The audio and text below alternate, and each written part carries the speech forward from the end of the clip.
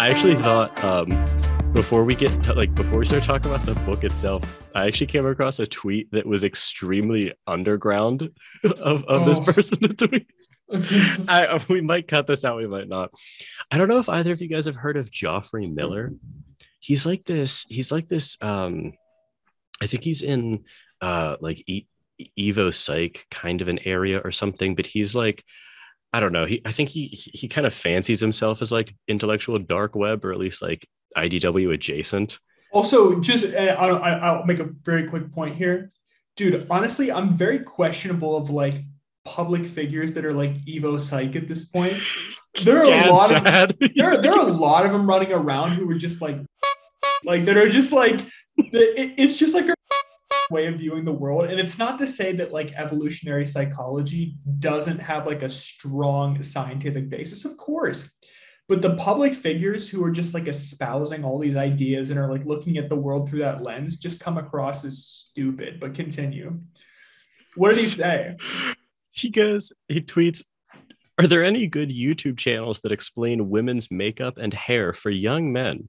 With an like an emphasis on for young men comma so men can judge how much effort a woman made before a date or whether a girlfriend's look is smart and classy. Someone responds what's wrong with just looking at them? And then he responds to that comment most guys seem to have no idea whether a woman has spent two hours on her look before a date or five minutes. They don't, they often don't even know the difference between foundation and blush or eyeliner and mascara is it honestly guys like this i, I just I, I, I just wish they were dragged to the gulags dude honestly like like like honestly what a cretins. Just like like to inform like a bunch of just like young men just to like you know analyze women like only 1.4 hours? Oh my god. Is that not an extremely... i'm worth at least 1.7 what what an absolute cretin to like i mean how much time do you guys put into dates i i, I well, that's uh, uh, 25 30 minutes like you get like yeah. you know you get ready yeah, you, you, get ready to go like, out. Yeah, you, you, know, you might like style your hair, make sure you look good, yes, smell yes. good. But, but, you expect like a woman to just like, you know. I, I can't imagine sinking like t- two hours of my day into just like finally grooming myself and just like every hair in alignment, every hair a statue. just, just, like I, it, that that I read that and I was just you know th- this is the modern day Dostoevsky like the like I just found that tweet to be extremely undergroundish. I I I I just thought I like saw that I just saw that like the original tweet from Miller and I was just like okay this this personifies many of the extremely toxic traits in the underground man right there. It's just like okay because like think about it. Okay you're, you're like you're on a date with that woman and then he's advocating for the youtube tutorialization of discerning like how much like I, I, like per, like what personality aside, like humor oh, aside, like, like absurd levels aside. of objectification. Just like how much of your labor has gone into like my pleasure. Which just made me it like it made me just instantly think of that quote. Uh it's like it won't spoil that much. Like towards the end, where you know the underground man is just in that embrace and he just goes like i can't they won't let me be happy just like just like that quote just like made me think of that. And, and like, like I, I can just imagine a character like that sitting at the dinner table and just being like, you know, like, did she spite me by only like, you know, like spending an hour for the makeup? Yes, like, yes. like, did she intend for me to notice this? Like, I guess fury rose up within me. It's like, creep, you yeah. monster creep. So, so you know, it, it, I, I, was filled with rage upon realizing that she had only deigned to spend an hour on me, and then incensed by the fact that she looked so good after only an hour. yeah, yeah. You know. I hate her for being attracted to her. it's very That's underground. underground. Yeah. Spe- wait, speaking of what what um what like editions did all of us read for part two? Because Adam, did you you actually read the same version that I have? Is that right? Yeah. Okay, because we because you and I have um it's the tr- it's the excuse me translation by Ralph Matlaw by Dutton Paperback, and I I thought this was I couldn't imagine a better translation. It was so good. It was so good. Yeah. Because what yeah. what did you have, Giffen? well, that's a good question, Jordan. Um, you see, because the original um, version that I read, I think might have been Constance Garnett. Uh, actually, Adam, Okay. you have the physical copy, so you might be able to comment on that. Um, but then when I was re-going through it, I listened to an audiobook freely available um, Mm. online, just on YouTube, Okay. and I don't remember what version was used there. But then I also like to kind of supplement that, I I copied and downloaded from like Project Gutenberg a free uh, you know version of that. So it- it's kind of a mess. I also listened to um, uh, just while I was like you know messing around um, uh, uh, an audiobook version of this too, and I'm trying to because that was excellent as well. Um, that was okay. you know whatever, like Audible is set up so poorly that it, it's very hard to actually pull up the information about the. Uh... Oh, narrated by Daniel Dorse. It was extremely good. So I just wanted to like give him a shout No, out. Sure. Um, okay, so like as we're as we're getting into it, I mean, generally, I I th- I loved the second part, um, and I I was often, I was like I actually found myself laughing at it, like you know, like I very much enjoyed the read. It's very I found funny. it Yeah. very, very funny. It's an extremely it's funny. Yeah, Well, my I think my favorite moment that I, I actually there were there's so many funny moments, but I, I really enjoyed like whenever they uh he was trying to get to like the prostitution house after he had gone to the hotel to eat with the guys, Yeah, right? yeah. Yeah, yeah, yeah. And yeah. he was just like jabbing the cabman's like in the back. Just like he's like he's like he's like he's like faster. But I, I, I want to get the exact words, but it was of course, it was oh, it was so yeah, funny. yeah. The- I mean, I, I, dude, I was cackling when he talked about the villainy of the officer as well. well, I mean, we'll get to all of this, but like, so okay, so just to recap from last time. So basically, he's so he wrote part one when he was forty, uh, if I remember correctly, and he then sort of turned to part two, explaining the narrative, and I take it that. And I take it that part two is really sort of what began his descent. I mean, he was obviously like underground at the beginning of part two, but I take it that that was sort of the, or maybe like one of the events in his life that multiple events. Well, yeah. covered, yeah. Well, but but I was thinking that like like kind of set of events that like secured him like an inescapable position with the underground. Yeah, I think it it led to kind of the these events led to his analysis, which he kind of goes over in part one, right? Yeah, yeah. And, and, it, and it's like even hard to know that. I mean, it's clear like this guy had some form of psychosis since like Yeah, oh, school, yeah. right? I mean, like he was under the impression that they all hated him, and he Yeah. all he hated them all as well. Like even like Mm. back in And his one uh, friend, he just abused. yeah, Oh yeah, yeah. Um, so yeah, No, that's definitely true. And I guess honestly, we're kind of like the target audience for part two because he said he was 24 when writing this, and sort of a young man in he he, re, he refers to himself as a clerk in some sort of. It wasn't clear if he was in the military or not. civil It- service, I believe. yes, like the post office or something like that. Yeah, it, yeah. I think Russian society basically has you go into the military or you go into the civil service if you're like a you know Okay. middle class kind of guy. So Okay. that would be the non-military branch.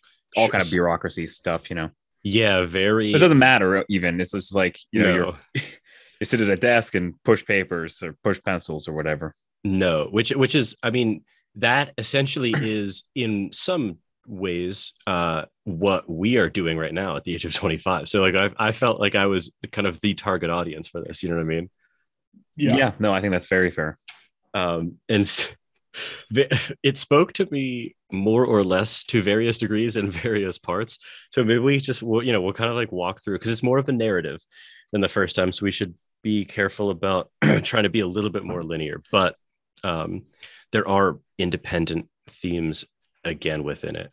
Um i i i, I found myself laughing a lot actually at when he was talking about work um, and like the, like the, the kind of the daily minutia of what was going on at his office, where where he said, you know, I mean, like this is obviously this is obviously exacerbated to a degree that I can't relate to in in full, but I, I think if everyone's being honest, like we could definitely relate to some part of this, where he was just like he's talking about his his his life in the office, and he says, I made friends with no one and even avoided talking and hid myself in my corner more and more.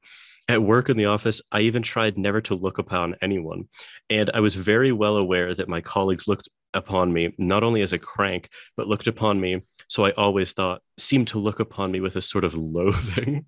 I sometimes wondered why no one except me thought that he was looked upon with loathing, which is funny because that, so the last sentence there is where he really, I mean, that's the first of many shades where he will, uh, he, he is like a, a case study in overusing the fundamental attribution error, where he will always look at people in terms of like their state of mind he, he's like stuck in the objective attitude towards people in a way that is like very very um deleterious to his interpersonal and intrapersonal health.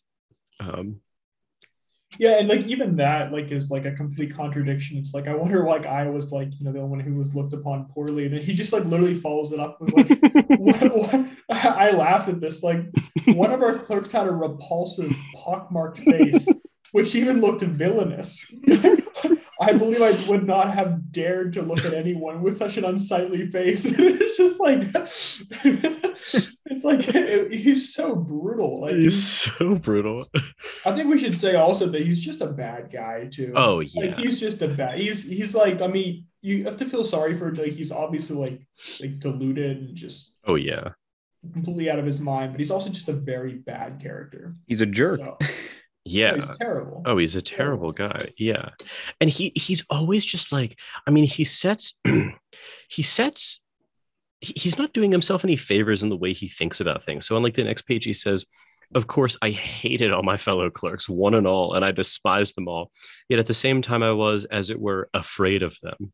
So he's and I I honestly do think that this is like a um this is a combination of traits that is more common in young men than it is of anyone else where it's like he- I mean, he's taking it to the like he's just cranking the dials up in both cases, but he there is this like aspect of him thinking that he's better than everyone, but at the same time being very afraid of being judged by people to the point where he's just like unable to form a real connection with anyone in a very like a very kind of a tragic way. And he says, uh, there's just another quote that made me laugh. Still another circumstance tormented me in those days that no one resembled me and that I resembled no one else. I am alone and they are everyone, I thought and pondered. So he's just like, he, he I I don't know. It's like very weird. He's, he's like failing to understand that, I don't know, like, it- he, he also succumbs to the spotlight effect a lot too, where he's like, every, he, he just thinks everyone is thinking about him and noticing him all the time. Like he, The entire first encounter is basically that, like the first scenario, yes, Um, yes, like with the uh the the officer. yes. It's just the pages and pages of him poring over like the the nuanced social like status um relations between him and this like one guy who literally did not probably like realize he exists. I, I, I that the that whole the whole scenario, but it's pages and pages poured into it. the interactions with the officer might have been my favorite part of the entire second part because They're hilarious. They're I think the- so funny. Some of the ending got me, but that that's um pretty close. So um, I just wanted to just really briefly just mention. Oh, um, yeah. because you were talking about like you both were talking about how like he kind of like oscillates between like these um kind of hyperbolic stances. He's like like I am so far above everyone. Just like I can't believe no one else has like the um observational skills to see how, what a lowly man like this was or pitiable or whatever. Then he'll immediately go like sometimes I I for a moment thought everyone was more you know was um better than I was, and he's like I, I abandoned those thoughts. It was like basically I just wanted to bring to uh, light um, the very end, like literally the very last line, Hmm. where it says like the notes of this paradoxicalist do not end here. Um, just the is it is very very important to the story seemingly that he's kind of like filled with contradictions that just won't resolve. yeah, And and he experiences them and he acts upon like different aspects, and it's just there's just no end to it. and it's very difficult to talk about an example that I've had of this in like my own life because the details are often too personal to like talk about. But obviously, I've never experienced it to this extent. But it, it's I, I don't know. I'm just curious if you guys will like get what I'm ta- trying to refer to or not. But there will be times where like you're kind of presented with like certain ways of being or like certain like courses of action where and you're very unsure of like what to do in any of them uh to the point where you can begin to have an inner monologue about that particular topic that sounds you know 15% of this or something you know what i mean Yeah. yeah Yeah. No, yeah. No, I agree with that. yeah and that. yeah um, yeah, I mean it's extraordinary hyperbole, but I think we're all supposed to kind of feel like moments of this. Right. I, I think honestly, there's not a human being on earth who hasn't experienced some form of something like that. You know, Yeah. where it's just like Especially you- you what just, at the age range where he's describing, you know, Mm. huge uncertainties. yeah, where it's just like you begin to become a paradoxicalist yourself. Yeah. Like it's just like there's no right course of action, yet you have to choose, but there's like this inaction that's always available. But Yeah. you know, it's just yeah, yeah. Um uh so so okay, like introducing the villainy of the officer. He, he's like so he's um he, he's trying to go into a tavern to start a fight because he sees he's like walking along on some night and he sees these like kind of you know good old boys in the tavern and they're they're fighting they're like they're fighting with pool sticks and and they um they throw like some someone out the window of the of the tavern and he's just like that strikes him as something that is to, like positively to be desired for him to be like thro- you know thrown out of a, a window um and so he goes so he goes into the tavern to try to uh to try to get into a fight and and because he knows he'll he's not like going into a fight to try to win he's like going into the fight to try to lose He wants to Um, be thrown out the window. He wants Yeah. to. Like I, he's, he's Yeah. like he's really hoping that happens. So yeah and he was oh, yeah I was gonna say this is like one of my favorite lines. It's, I- um, I don't know exactly where we're at, but it's basically like it seemed that I was not even equal to being thrown out of the window, and I went away without having my fight. It's just yes this, this state of mind is just ridiculous. well so so because he says um you know so he was kind of thwarted in the attempt to get into a fight by this officer and i'll just read because like the, the writing is just so funny how he how he, like this guy you know um views things. He says i was standing by the billiard table and my ignorance and in my ignorance blocking up the way and he wanted to pass. He took me by the shoulders and without a word without a warning or ex- an explanation moved me from where i was standing to another spot and passed by as though he had not noticed me I could even have forgiven blows, but I absolutely could not have could not forgive his having moved me and so completely failed to notice me. So it's like this officer, which is like it- it's actually true. It's extremely disrespectful to just move someone. Honestly, I'm kind of wondering. Whenever I read this, um, it kind of seemed to be more like he was just in the way, and like so Mhm. the guy like needed, you know, this guy seemed like more of a bouncer or something. You know, like he kind of moved moved him out of the way so he could, you know, proceed. no, no, no, no. Giffen, that that guy is the officer that he. Right, right. Oh, I, I oh, get oh, that, okay. but like, I, I his seemed to be like more of like a, you know, I don't want to say peacekeeping, but, but like peacekeeping, right? No, I don't think so because like it- there was no. He just said he was standing by the billiard table. Like this guy, like this guy just wanted to move past him and just simply like just moved like yeah, like the underground man. Yeah, I don't know. I I kind of interpret this as more of like a very slight encounter, like, you know, Yeah. slightly brushed aside. Well, the, that's the funny thing is too about this is because like, uh, like obviously this guy is kind of an unreliable narrator. So this could have been as simple as someone simply, you know, like you're kind of at like a packed like bar or whatever, and you just kind of brush past someone, and he, you know, like he in his you know just insanity could have easily interpreted that simple move as uh you know him like moving uh Yeah, he, he's you know tre- seemed treated an like a fly yes He always seemed like an unreliable narrator. So yeah. I i love i love so so nothing happens essentially. Um and he says I went out of the tavern straight home, confused and troubled. And the next night I continued with my petty vices, still more fervently, abjectly and miserably than before, as it were, with tears in my eyes. But I but still I did continue them. Don't imagine, though, that I funked out on the officer through cowardice. I have never been a coward at heart, though I have always been a coward in action. Don't be in a hurry to laugh. There's an explanation for it. I have an, expl- an explanation for everything, you may be sure. So he's like, you know, it, there is a way in which you can't really be a coward at heart if you aren't uh, uh, like a coward in action. You know what I mean? Like it, you, you know how like bravery is not like bra- bravery is something that you can't really do from like a state of mind because if you act valiantly but you're not afraid it wasn't really bravery it was just sort of like you know brashness or or you know but like the entire like what defines being like brave is overcoming certain feelings and he's just like well i was i was always a coward at action but but never at heart you know which makes absolutely no sense hmm. so so it's like it's like he i mean it's clear that he's a big time coward in the later scenes whenever he's like, you know, trying to like Oh, yeah. into the He office. coward through and through. yes yes I, I love when he dives out of the way. it's like, yeah, if, there- if there's no greater moment of cowardice. Like, it's, yeah because so, so you're referring to because he, he he's like he's obsessed with this officer to the point where like he he, he thought about him for years he, he like Two dwelled years. yeah he said like two years so he was like stewing on this like he, he says like the villainy of the officer for two years he says he says he would go down and like walk along he kind of painted this picture of like a marketplace along the river or something yes. Yeah. where where the officer would often you know stroll with his comrades and he would go and just watch and learn about him and he you know he said like it was extremely difficult to get information about this guy because he didn't know his name but you know one day he heard someone call out his surname to him you know from afar. And he you know he used that to sort of inquire about him in the service. And he followed him home and paid his doorman like information you know to, to like you know learn what he could about him what room he was in whether he lived alone or not.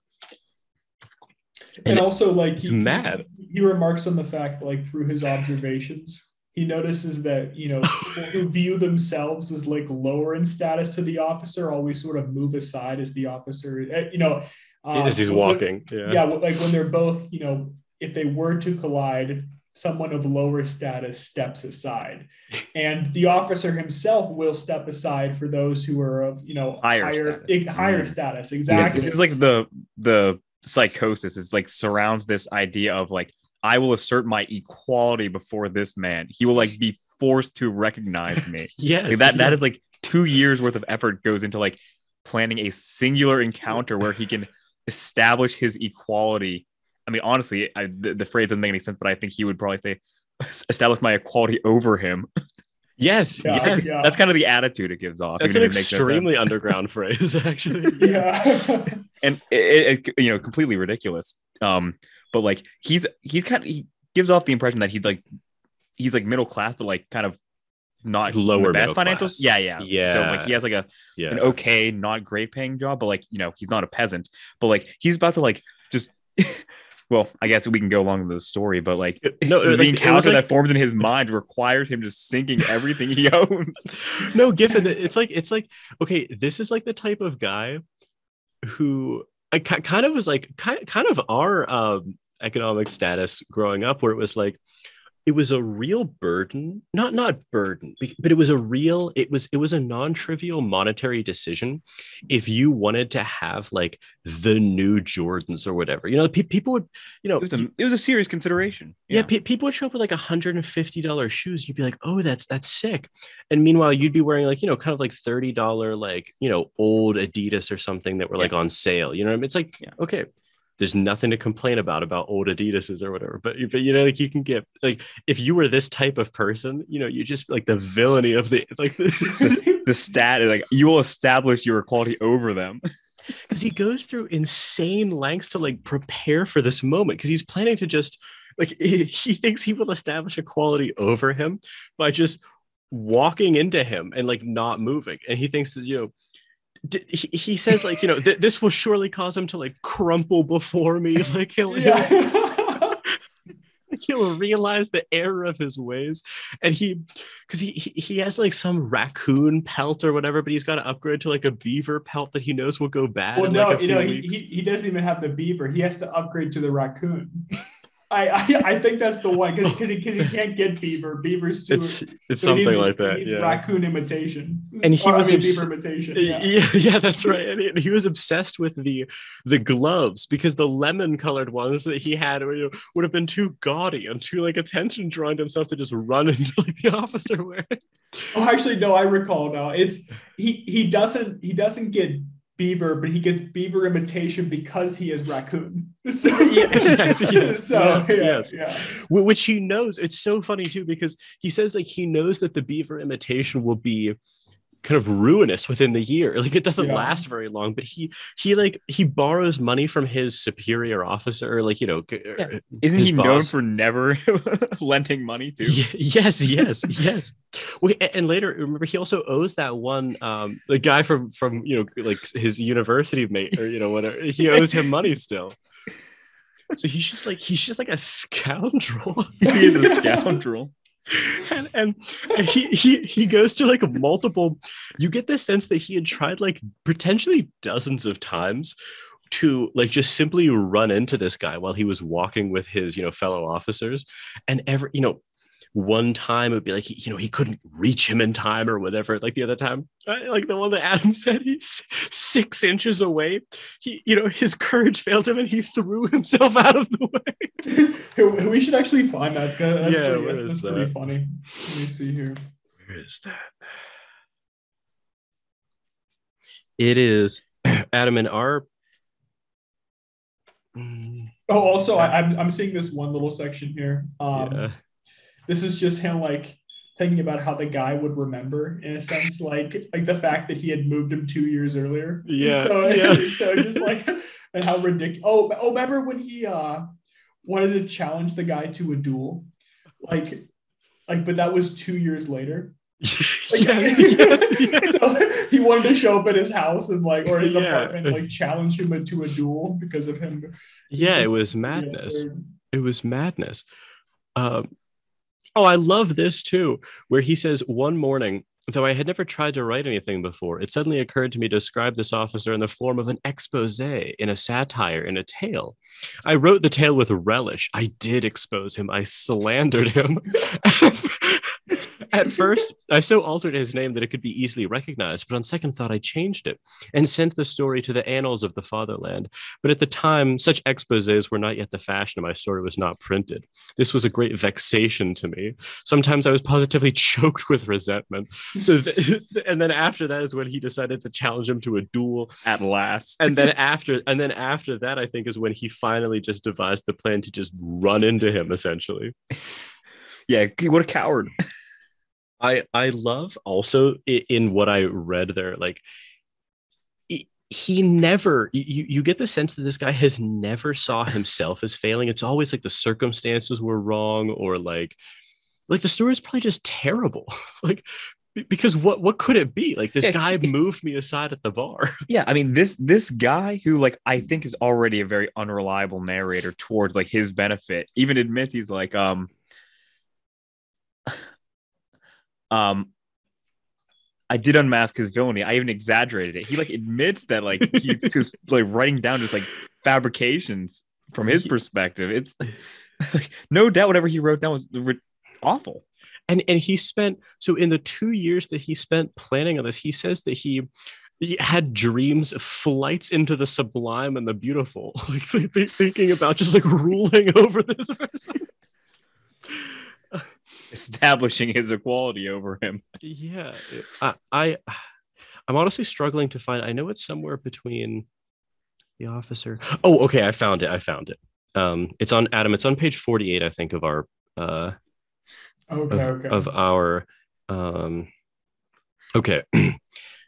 Uh the plan had to be carried out skillfully by degrees but i confess uh, that after many efforts i almost began even to despair. We could not run into each other and that was all there was to it. I made every preparation. I was quite determined. It seemed as though we would run into each other directly. And before i knew what i was doing i had stepped aside for him again and he had passed without noticing me I even prayed as I approached him that God would grant me determination. One time I had made up my mind thoroughly, but it ended up it, but it ended in my stumbling and falling at his feet. at the very last instant when I was only 6 inches from him, my courage failed me. He very calmly stepped over me while I flew to one side like a ball.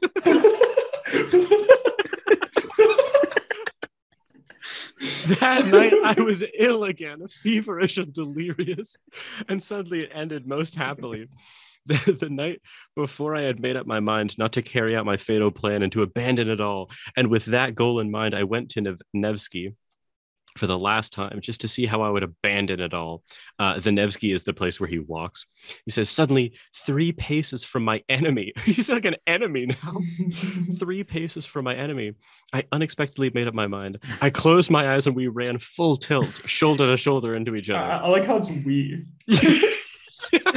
As if it's a mutual engagement. Yeah. Not just I- some guy who's like shouldering him for no reason. I- I did not budge an inch and passed him on a perfectly equal footing. He did not even look round and pretended not to notice it, but he was only pretending. I am convinced of it. I am convinced of that to this day. Of 20 course, later. of course, I got the worst of it. He was stronger, but that was not the point. The point was that I had attained my goal and that I had kept kept up my dignity. Like I just, I just love that. Just I had not yielded a step. it's it's oh it's hilarious um and you know what this was really interesting too because th- uh, let's i'm take this is a little bit of a step back for a second um i don't know about you guys but you know how the first part was very aphoristic uh i noticed the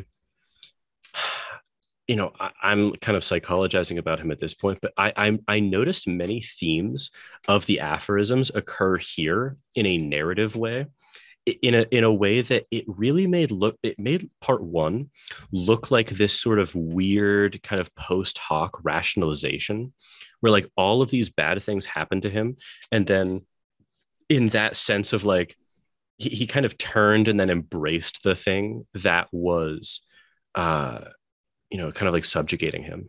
You know like he, he he's he's talked about you know he even prayed that god would grant me determination. You know so he like he kind of like wanted to be determined to do the things that he wanted but then you know obviously like nothing goes his way. So then in part one he kind of rambles about how like you know there is no freedom but at the same time there is. It was i don't know it's just very interesting like reading part two after part one where you get to see the themes kind of become established. Yeah, no, I agree. At first blush, you might even wonder like why this is like the same kind of yeah. Piece. yeah. It's yeah like- actually. it's like one third of this is like kind of like random philosophical ramblings of a you know 40 year old retiree. Hmm. and then you know the next two thirds is just like a series of narratives like from the point of view of a neurotic man like in his early 20s yeah. It's like but it is very interesting to kind of like piece back um to you know part one and see like why someone could have developed to be like the way he was in part one and how he could come to those kind of philosophical conclusions or budding several philosophical conclusions because because because it's like part two i mean this it's this not logical but just descriptively part two seems to undermine the validity of part one Yes, that's what I was gonna say. Yeah. yes Yeah. yes Yeah. yeah, In, in the sense where like it's all obviously so derived as this coping mechanism and also it just like once again like part one was a critique of the idea of the like perfectibility of man Mm. and you might have been able to take that as like a realist perspective just reading part one Mm. but now it just comes across as cynical after Yeah. reading part two where it's just like I don't understand why Dostoevsky would have like, okay, here are the thoughts that I sort of endorse. I mean, that was a social critique he was making, but it's Mm. made by this very loathsome character that has an evident disdain for humanity. yeah So it's just like, yeah, I definitely kind of felt that way too, where it's like, okay, like, are these the ideas of the underground man? But they're not Mhm. just that. They, these are also social critiques you're making, but you're Yeah. lumping yourself in in a sense with like, I mean, and Yeah, some I'm- of it's true like that's the other weird thing too about part one is some of it i mean it wasn't all just like stark rambling No, you, you- that's what I'm saying. Like you, you can Yeah, take it as like you know, like a realist perspective, at least in some ways. So Mhm, mhm. yeah, yeah, I don't know. I'm sorry, Giffen, I cut you off. Oh yeah, no, no worries. Um, I was gonna say, like I mentioned this kind of last time. Um, though it seemed like now I was kind of jumping the gun then. Um, but it it, it is kind of difficult. It's something to keep in mind when reading it is that like I don't think Dostoevsky is necessarily the underground man. Like he's not. No. He's he's there's a separate. There's a difference between the author um Mhm. and the the writer, right? Yes, yes. Um, well, Yeah. well, you know what I mean. Um, between the narrator and our story, and then Dostoevsky himself. Yeah, Um, yeah.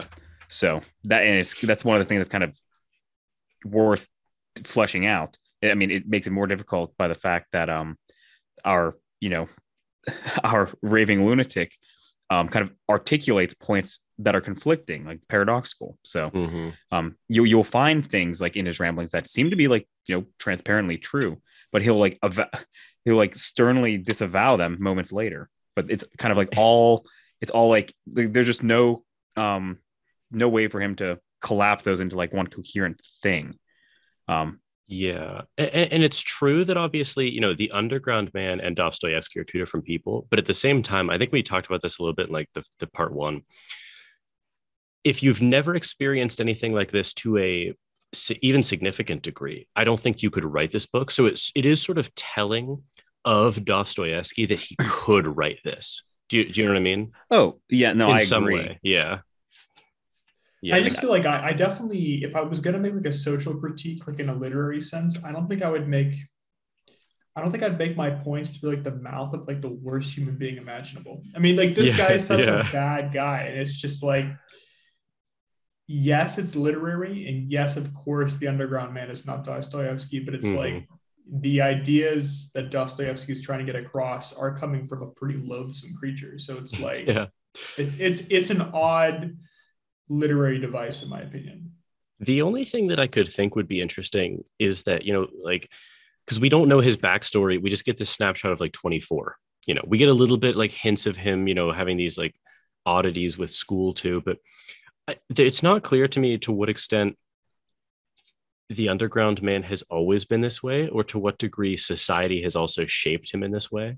Um, I mean, he's obviously a kind of a sick individual, you know, but you could imagine someone who is a bit a bit you know maladaptive but placed in a kind of like a horrible society might become the underground man you know um so i don't know if it could be levied in a like a critique of that direction um but it, it, yeah i mean i'm curious because it might be the case that like i mean so regardless of like the neuroticisms um the underground man is somewhat intelligent right i mean he Mhm.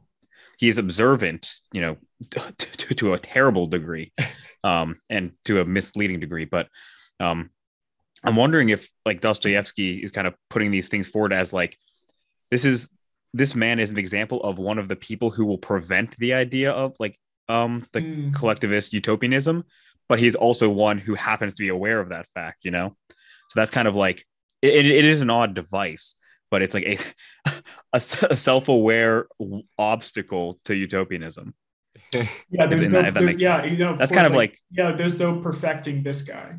I mean, he he is even just, he even knows like that- it's, it's so the obstacle is so immense Yeah. that someone who is aware that he's an obstacle to this is remains an obstacle to this. Yeah, it's it's like almost like okay, if you believe in this utopia that many of the time we're espousing, you have to believe in your common man, and, and you, have, you you have to have like some belief in people and have some you know value and respect of people yeah at large, and like there are people that don't, and this character certainly doesn't, and there are people like him. So. And it ties back to the very beginning before like the proper notes begin it was like kind of a quick dostoevsky comment which is you know at the very beginning and the very end in like parentheses i believe um in what i read but it's like someone like this this is a fictional account but someone like this must exist in our world Mm. so yeah. this is that's Yeah. kind of where it ties back to like his his like l- one of two like actual dostoevsky comments specifically like directed at you is like these people must exist so what this is you know a political and social commentary like you your philosophy must grapple with this creature that I'm about to like tell you about. You know, Yeah, yeah. Yeah, It's and also point.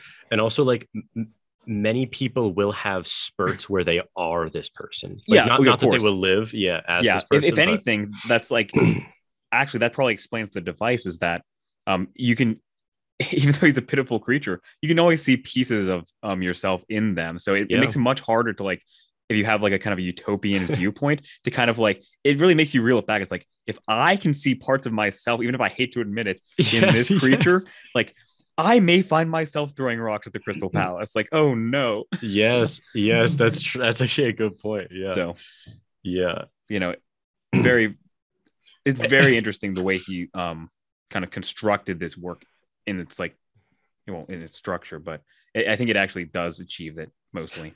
And also, like, you know, I don't know about, about you guys, but when I was kind of relating to various degrees to the underground man, that was always associated with a memory that was just like a horrible memory. There was nothing that I, there were no good memories that came to mind reading this. That that's a fact. That's a- yes, yes. This is not something you read if you're in the bowels of depression. No, no, no. You actually have to be like a very kind of good state of mind, I think, to read this paper. Yeah, you need to Well, be not- good humored with your past failings. I c- honestly, yeah, yeah. You have to be, you have to have a like a healthy relationship with your past, I think, to read this. Yeah, Um, it can hit way too close to home. because so It, so it did at points. Yeah. oh with- yeah oh yeah points oh yeah um so okay uh so kind of going back into the narrative he goes Hmm. to um he goes to these old school fellows um without you know he he hadn't like invited himself. He hadn't seen them for like at least a year or something like that. They were never even close. Um but he you know just kind of goes uh and um uh, enters their flat and um, i'll read a quote because I, I liked the I liked and the also, quote. yeah, it, it'll be very helpful to listen to both of you pronounce these names too, as considering you listen to the audiobooks. Yeah. Because, uh, yeah, some of these they're I'm up to pretty sure- interpretation They're, they're, Yes, rough. yeah, some of these I'm pretty sure I know how to pronounce, but the uh, the tall, cold fellow, how do you say his name? oh i have to see it on paper um, yeah, I don't know which one's the tall. One that cold starts with a fellow. T. yeah uh there was uh for fitchkin there was For, for zerkov Fitchkin was the one that was oh clear. oh trubalyov wait. Trulyov. or Tr- trudalyov Well, uh, where is this? no one? no no no Tr- true trudalyov Tru- trudalyabov Mm. I'm not. Uh, I'm, I'm oh, not you there? sure. Yeah, Trudalyabov. yeah trudalyabov yeah that's Trudalyabov, yeah trudalyabov Verkov, Trudalyabov. simonov uh Oh, okay. So he so so he says I found two more of my old schoolfellows with him. Him being uh Simonov, who was this guy who it was so I, I don't have the quote, but I just like laughed out loud where he was like, I suspected that Simonov may hate me, but I went nonetheless. It was just like, he's like, dude, like get better The friends. spite is high here. So, so he says, um, He hasn't seen him in years, by the way, too. I don't know. If it, was like that, it was like a year, I think he's yeah that he hadn't seen. Yeah, them like they're they're Ah, yeah, a year or so have- pa- post school, and they weren't terribly warm in school. yeah exactly. I, It something I, like might have been longer. It might have been three years since you saw for Fetchkin and and Oh, maybe I know it was a year for Simonov. Okay, okay, okay. Okay. When he says he walked in there, they didn't see him in years. I think. Okay, so so he says I found two more of my old schoolfellows with him. They seemed to be discussing an important matter. All of them scarcely took any notice of my entrance, which was strange, for I had not seen them in years. Evidently, they looked upon me as some as something on the level of a common fly. I had not been treated like that even at school, although everybody hated me there. I knew, of course, that they must despise me now for my lack of success in the service and for having let myself sink so low, going about badly dressed and so on, which seemed to th- which seemed to them a sign of my ineptitude and insignificance. But nevertheless, I was not expecting such contempt. Simonov even seemed surprised at my turning up. Even in the old days, he had always seemed surprised at my coming. All of this disconcerted me. I sat down feeling rather miserable and began listening to what they were saying. I love that, like, you get that entrance, and honestly, someone with like self respect or someone who valued their time would have just left. You know what I mean? Just like, okay, they clearly don't want me here.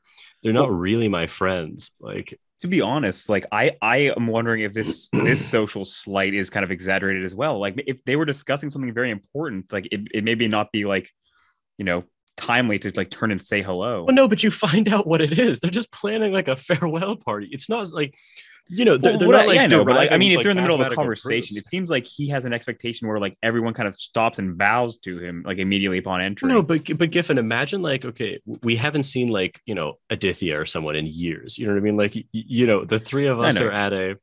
Y- Yes, like we would instantly stop. Be like, "Oh, dude, like, what's up? It's been years. Like, how are you?" Imagine fair. just like imagine the state of mind we must have in that scenario to to barely acknowledge that he had entered. That's fair. You, you know what I mean? I just kind of put a, a window over, or a of course, of kind course. of paint over all this where he's like exaggerating the slights, even 20 years later, especially 20 years later.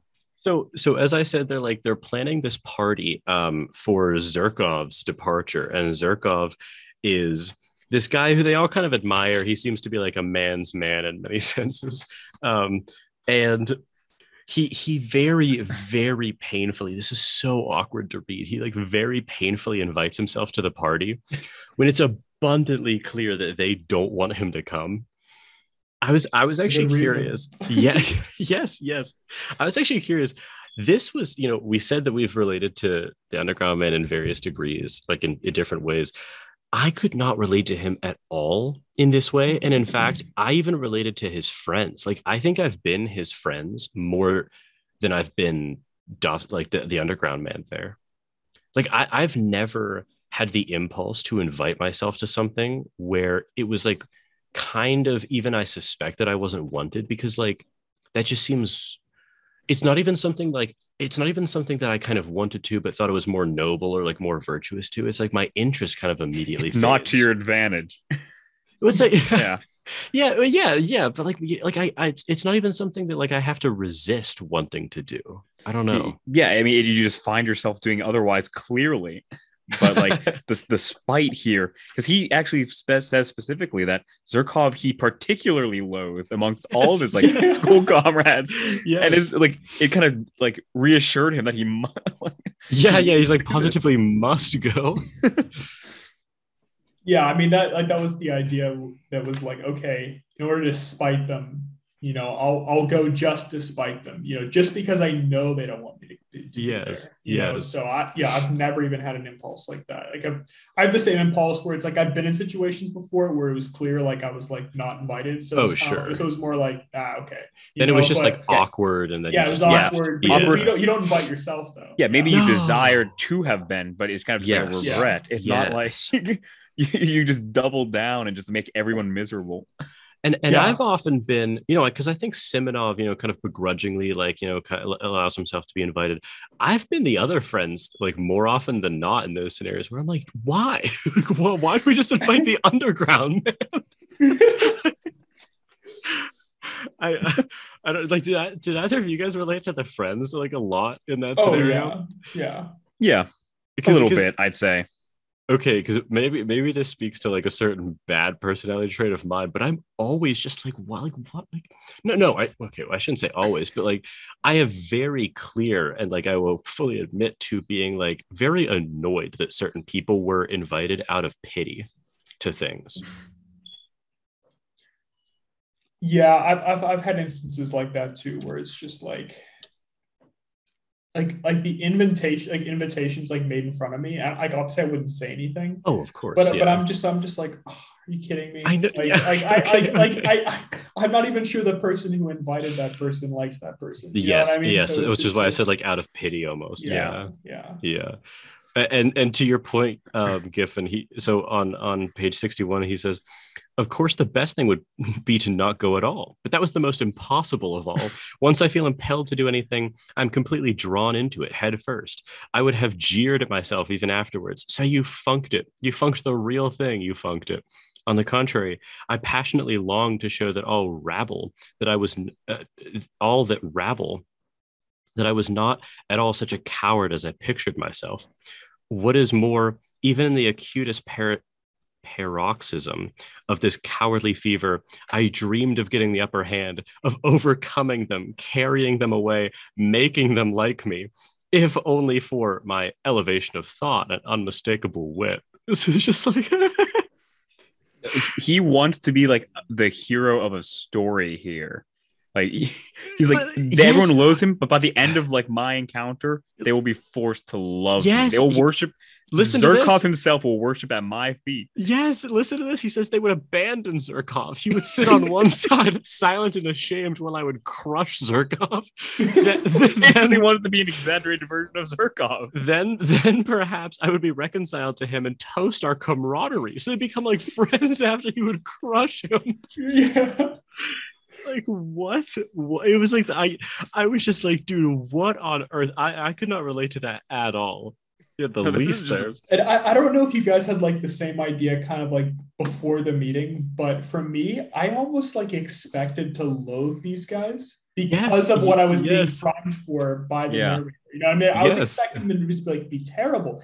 And it wasn't like they were like especially pleasant, of course, but it was like they're actually not nearly as bad as like what he had like concocted in his mind. I mean, They're like, just like hanging out, yeah, exactly. trying to be nice friends, going away party. Yeah, their their position is far more understandable than his. yeah, Like, it's, he's a he's a nut, Hmm. and he, he just He is descends nut. further.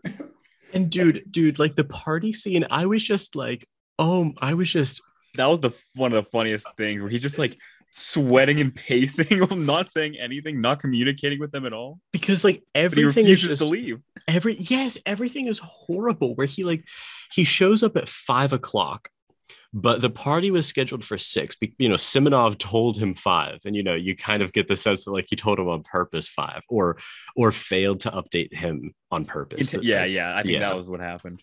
and so he's just like sitting there, just like steaming because like For an hour. yes, yes. You know, because like the table, because it's like it's like a private room or whatever, and like you know the waiter is like still like setting up the room and everything, and he's just steaming there, like just so furious.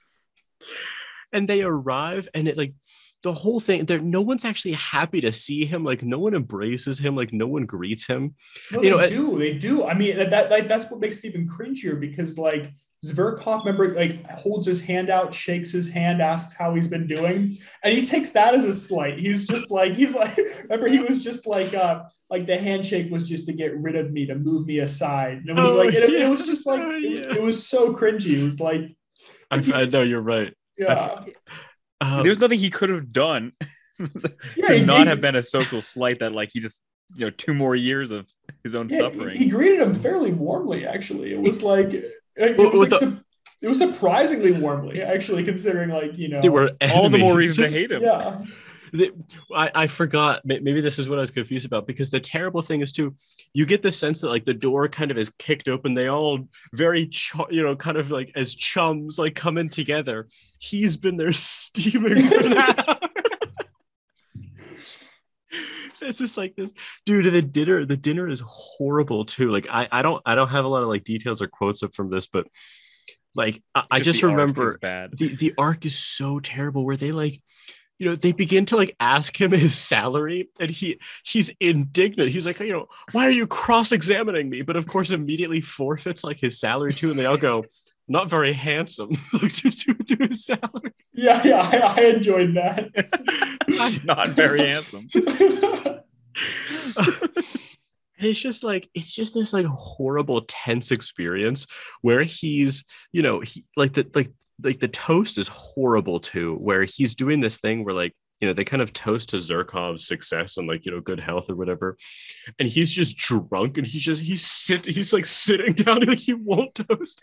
And and the the tea guy um Trudobolyov uh turns and he's like why? He like roars at him. He's like why? He's like you can't be like you know why won't you toast Zerkov he's like he, he's like drunk. He's just like Uh, because I want to make my own toast he's like he stands up and he's like I first of all he's like I hate okay, can I read it? yeah I don't have the quote Okay, okay, okay. Lieutenant Zverkov, I began. Let me tell you, I hate phrases, phrase mongers, and corseted waists. That's the, that's the first point. And there, was the a sec- toast. and there was a second one to follow it. The second point is I hate dirty stories and people who tell dirty stories, especially people who tell dirty stories. so and, and this is after like you know Zherkov just told some escapade where he was Yeah. just like you know in some rendezvous with some woman. The third point, I love truth, sincerity, and honesty. So um, I love thought, Monsieur Zherkov. I love true comradeship on an equal footing and not, hmm, I love, but however, why not? so it's like incoherent because he's drunk. I would drink to your health too, Monsieur Zherkov. Seduce the Circassian girls, shoot the enemies of the fatherland, and and to your health, Monsieur Zherkov. Yeah. and, and everyone is just very, very just taken aback by like what he said essentially. But Yeah, Zirkov yeah, still yeah. like kind of acts like you know. He grateful. true, It's he like, keeps I am very much obliged to you. yes, and then and then yeah, Trudeau Yaver, he's like he like roars, he's like I ought to suck him. Look what he Whoa, whoa, the whoa, wait, he first screams, damn the fellow. Yeah, yeah, yeah. That's the best part. Zirkov is like graciously but like uncomfortably like trying to like turn like this conversation and like yes. make it seem as if he's not like a villain and then they're pounding up damn the fellow And then- he and wants to punch Fe- in the face Yeah, then for Fetchkins, you get challenges for Fetchkin to a duel. even simonov is like we ought to turn him out yeah, Yeah, yeah. and, and for Feshkin's just like I, I, I wouldn't dare to like like you you he, he goes like you know you couldn't even insult me. Or like no no Zerkov says that. He's like you couldn't even like even insult me. So he's just like beneath contempt. He's just like this horrible figure. afterwards this is um the underground man thinking to himself. He's like now is the time to throw a bottle at their heads. I thought to myself i picked And up all- the bottle and then and Poured filled my my- glass. That, that this like that entire like that entire thing made me think about that quote. He's like where, where he said i am never a, a coward at heart but i often am a coward at action. That's Where he's like- Coward. he's got these like you know he's like thinking of like throwing a bottle because because he clearly he stands up and begins the toast as like he's going to just like expose this guy. He's just going to like unmask his villainy his arrogance. But then he he like be, he, he's here's like the underground man's problem. He's like always in between two courses of action because he's obsessed with thought. So he'll like stand up and he neither tells him off nor actually like ingratiates himself. He does this like just mealy mouthed middling thing where like clearly he insulted him but then he tries to like kind of make it back. He's he's like a real inability to commit to anything. Yeah, yeah. yeah. No this definitely ties into the comments in the first part. Like he, yeah. he whenever he does like not even commit but just kind of like has to make the decision just it's always the poor one Mhm. And, and it's like they they tried to kind of they were kind of friendly at the beginning. Like it's like uh I mean they were saying like oh like we like we made you wait like sorry about that like you know I, I don't know why Simonov didn't tell me he's like yeah I don't know why he didn't you know he's just like, he, he doesn't like he gives Like- them no grace yeah I mean it's just like like okay like how long have you been waiting like truly Trudolyubov inquired I, I arrived punctually at five o'clock as I was informed yesterday. I answered aloud with an irritability that promised an imminent explosion. Like, didn't you let him know that we had changed the hour? And he said, Oh, oh, um, oh, then like Ferfetchkin laughs and he's like, It isn't funny at all. I cried to Ferfetchkin, more and more irritated. It wasn't my fault, but other people's. They neglected to let me know. It was it was it was simply absurd.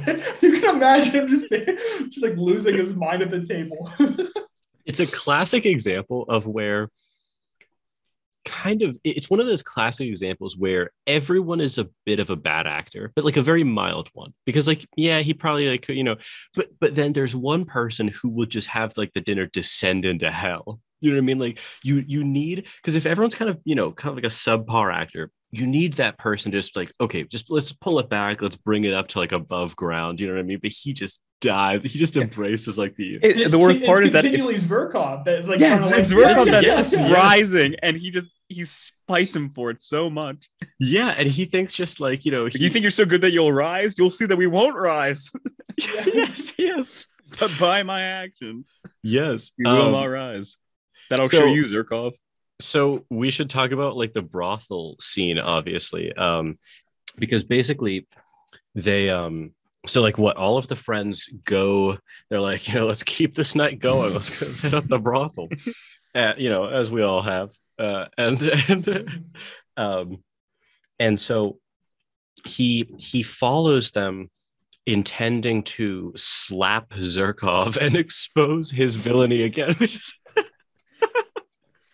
Uh, because he wants he wants Zerkov to duel him, but he knows that Zerkov like will never, you know, kind of stoop to his level to do it. But he thinks, you know, if I can just like get a slap off on him, then he'll be forced to because it's like such a such a, an affront to his honor, you know. So he um he follows them to uh the brothel and this was another instance actually where the deter- like the determination came up again because he he exclaimed it is ordained it is fate drive on drive on to that place as he you know like he was like accosting the, the driver there Yeah, I, I want to read one of the, the quotes of the driver. Get on, driver. Get on, you rascal. Get on. He's like hitting him in the back. It makes it has like a wonderful visual too because like i mean this isn't like relevant to the plot but he uh i mean at one point he tells the driver to stop right and then he kind Yes, of wanders yes. out into the middle of the street kind of like debating whether he actually wants to go yes through with it yes then he gets back and he's like, "Come on!" He starts like the, guy- the guy's like, you know, he's whiz- he's cracking the whip as hard as he can to like get the horse to yeah and like the moment where he's like, "It is ordained, it is fate. Drive on, drive on." He says, and in my impatience, I punched the sledge driver on the back of the neck. what are you up to? What are you hitting me for? The poor man shouted, but he whipped up his nag so that it began to kick out. Like he just punches him in the back of the neck. You can tell. You can tell this is like kind of the moments that really clearly illustrate that he doesn't actually seek equality with anyone because he, whenever he behaves with someone who's like clearly on a lower social status, he abuses them. Yes, Yeah. yes. like Yeah. pure abuse and it and this like will you know lead into the final uh scenes as well because who is what is more lowly on the social like hierarchy than a prostitute Yeah, exactly. that's we're going to a brothel he hates he hates people above him because they're above him and he hates people who are below him because they're below him. He just has like complete contempt for everyone. Yeah. It's while bad. while also obviously being like he both hates people but he's obviously also so he's such a weak person that he's dependent on their ideas about him too. So it's this like just like really terrible like just warped value system yeah just, it's just yeah it's just really really bad. Um and um so he basically he he arrives at the brothel and he has sex with a young girl there whose name is liza. And they talk so they you know you know so they have sex and they're talking afterwards in this very like strained fashion. And he weirdly calls he kind of like refers to her as almost like a slave um and i had a quote that stuck out to me about that. Um uh so so he he was kind of you know he, he was talking about how you know giffen you said she's a prostitute and he was Mhm. talking about how you know this is like a horrible life. Why are you living this life? You know you could you could do so much better which is ironic given that like obviously they just had sex so he's sort of like participating in this lifestyle too. And he and so uh, on page 82 so the same thought may have been straying through her mind when she was staring at me just before. So she too was capable of certain thoughts? Damn it all this was curious. Is this kinship? I thought almost rubbing my hands. And indeed how how can one fail to manage a young soul like that the sport in it attracted me the most. So he was like, because he literally goes, so she too was capable of certain thoughts. He, he almost views her as like incapable of certain thoughts while obviously at the same time being like extremely intimidated by her and unsure of himself in front of her. how did you interpret that certain thoughts because what it seemed to me is that he thought she was feeling ways that he often does so it was like a, a sympathy kind of um thing Yeah. i mean it was also seemed like he was falling for her a bit um Oh, too. clearly. Yeah. Yeah. Clearly. it's like oh you actually we maybe sh- you know we share this we have this thing in common maybe you know Um, yeah. Well, this is something I noticed about him too is like he's obsessed with viewing people as their social or economic status. He's like obsessed with it. He like he he always reviews or, or, or refers to people rather by like their title, by their position. Like he, you know, he's like if they have none, he that. whacks them in the back of the head. Yeah, yeah, exactly. So it was like I almost took that as he was like surprised that, that this girl is like more than like just. He, it almost it was almost as though he kind of viewed her as like this thing that would almost just like turn off when like people weren't you, you know like y- y- you know using her. It was I don't The, the, the whole thing was very, very strange because it's like yeah. he, it, it almost seemed like the conversation was normal enough until she began to say, like, okay, you know, you speak like a book. yeah And then he just goes into like these long, just like soliloquies Yes. as he just kind of rhapsodizes about like, you know, almost like her poor state of life. Yeah. Like what like what she's destined to become. Yes. And it's just like like, the woman with the fish on the doorstep, like Yeah. beaten. Yeah. And, and did you, and did you take that as true that like he had actually witnessed that? No, no, completely fabricated. It seemed completely fabricated because like earlier in the conversation he admits the fact that like you know, okay, with regard to um, how waterlogged some of like the graves can get, he's like you know he was kind of no, but he was just kind of like talking about uh Oh, I'm sorry. Did, Oh. that, did the mic pick that up? yes, Oh, really? Oh, I'm, just, just a little bit. Oh, little bit. sorry. No, no, you're good. Um, but he was just like, okay, I didn't actually witness, you know, uh, these waterlogged graves. But he's He like, admits "Ah, it, yeah. yeah. He's It's like, like, I've been there but- dozens of times. Yeah, exactly. But you know, he hadn't. But it made for you know a good, good conversation piece. Yeah. It's it seems possible. it wasn't 100 percent clear, but I think he just like, kind of stole these things from books he read. Yeah. he- yeah, yeah. It's very possible. because like because and this is I think leads to some of the surprise he views towards like Liza is not only that like she's capable like you know and intelligent, but also that she she she maybe read a book that he was stealing from.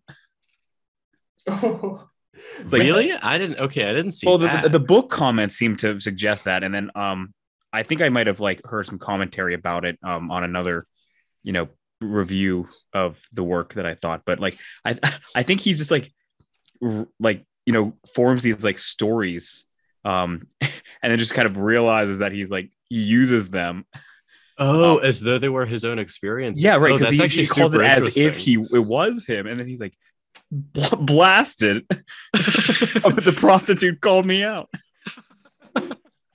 I actually hadn't read it like that, but that's super interesting. I'm not 100 percent sure. The language is like a, a little bit ambiguous, and the Uh, yeah. again, the narrator is very unreliable. But it almost seemed like that because like the pro, I I I thought if it's true, I think it worked really well. That like in the for the story that you know he's that the lowliest station possible, and and she, not only is she like you know sympathetic with him, um, and like not not not lowly as her station would suggest, but she she surprises him like in many aspects, including the you know being read.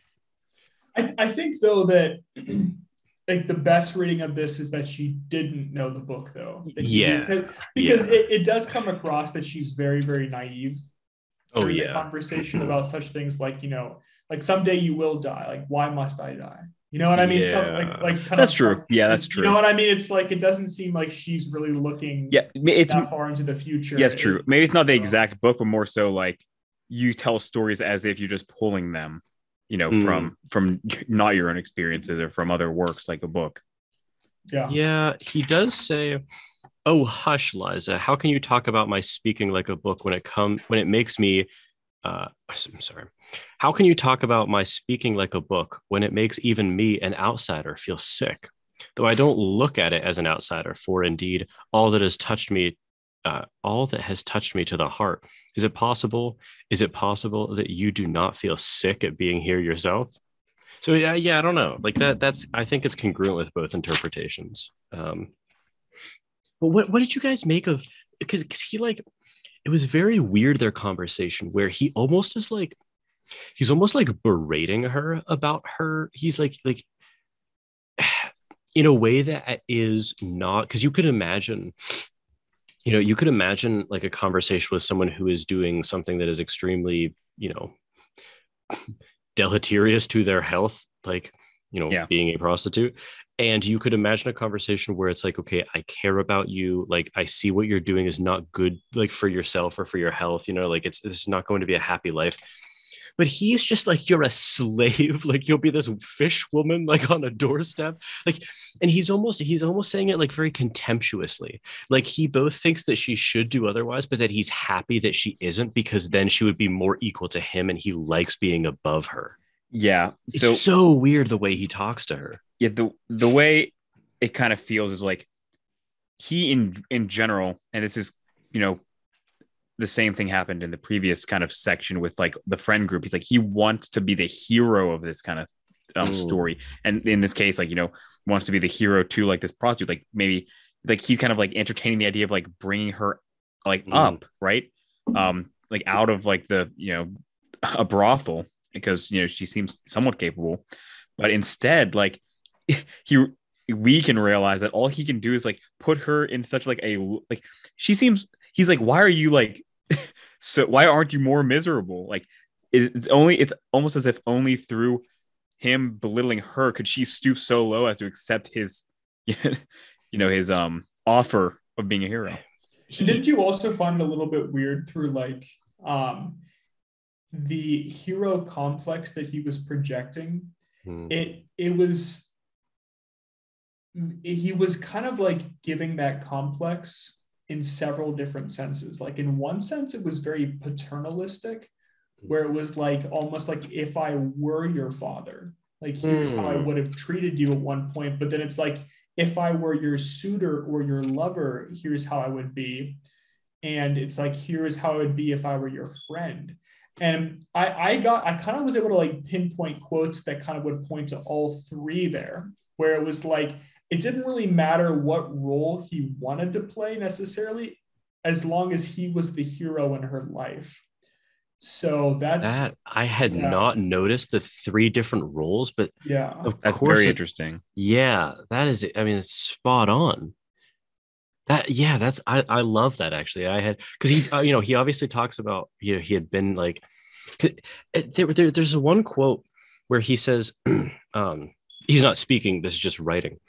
He says I felt for some time that I was turning her soul upside down and breaking her heart.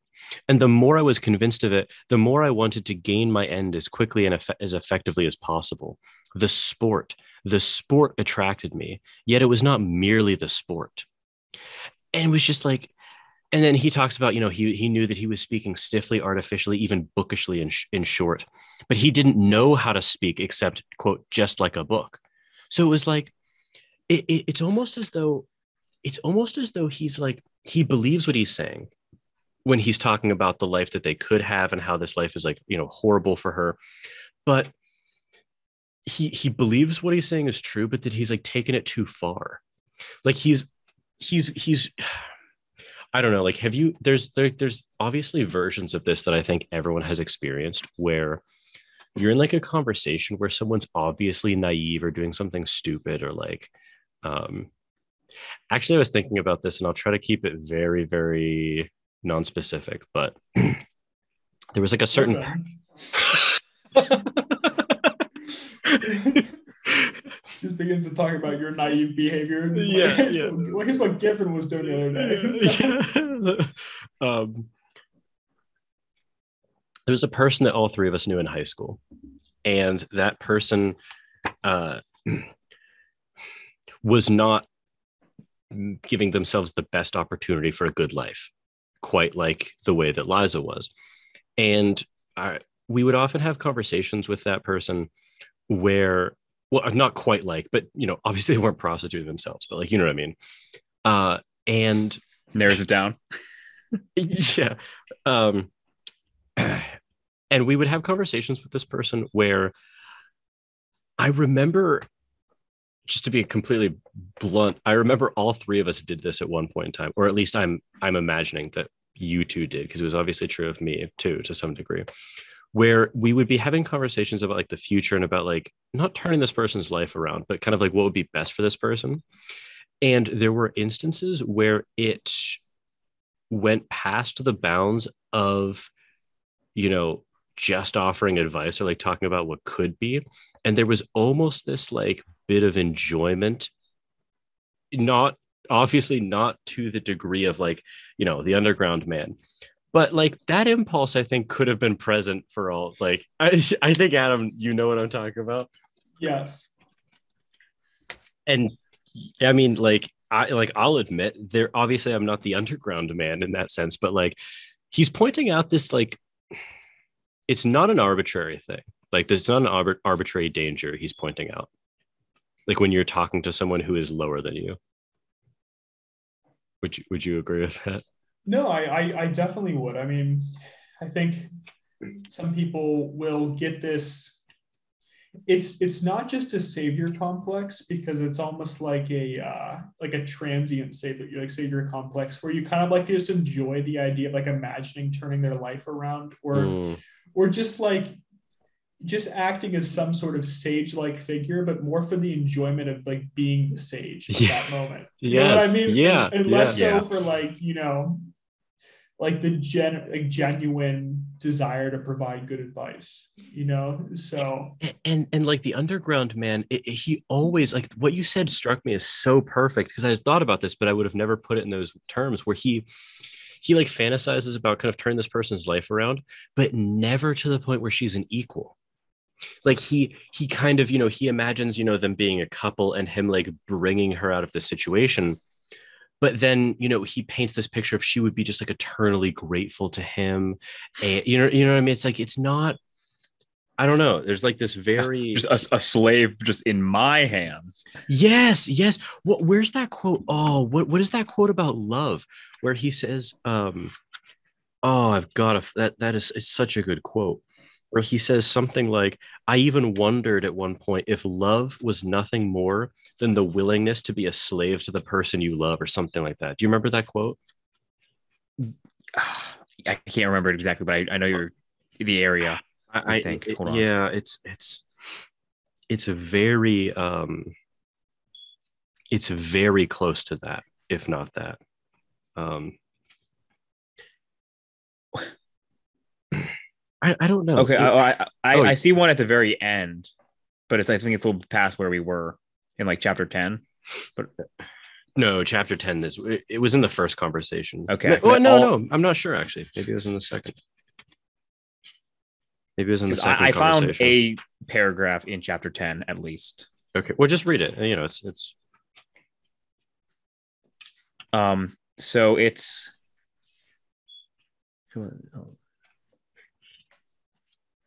I'll just read the paragraph.